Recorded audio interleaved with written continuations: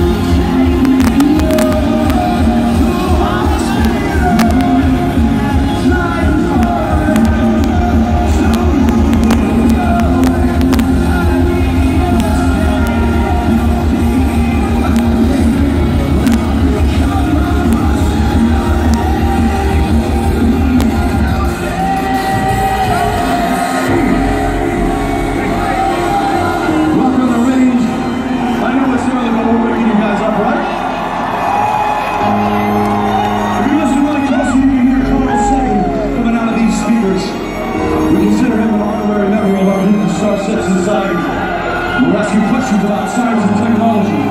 How it's affecting our lives now and in the near future.